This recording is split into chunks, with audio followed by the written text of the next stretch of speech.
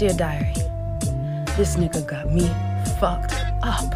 I don't know who he thinks I am, but I am not the one. I'm over here asking myself why we can't be closer, and he over here making skits. Not answering my calls. I thought it was treat me like I treat me, not leave me on read. Let me go ahead and delete his number since he wanna play games. Mm.